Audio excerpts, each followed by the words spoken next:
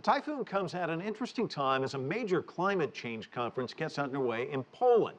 On the opening day, the Philippines Climate Change Commissioner fought back tears as he spoke. And the devastation is staggering. I struggle to find words even for the images that we see uh, on the news coverage. Up to this hour, I agonize, waiting for word to the fate of my very own relatives. What gives me renewed strength and great relief is that my own brother has communicated to us and he had survived.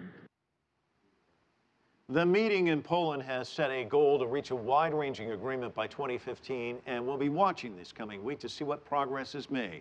CCTV's Roee Ruttenberg is there the sticking points will likely be the same.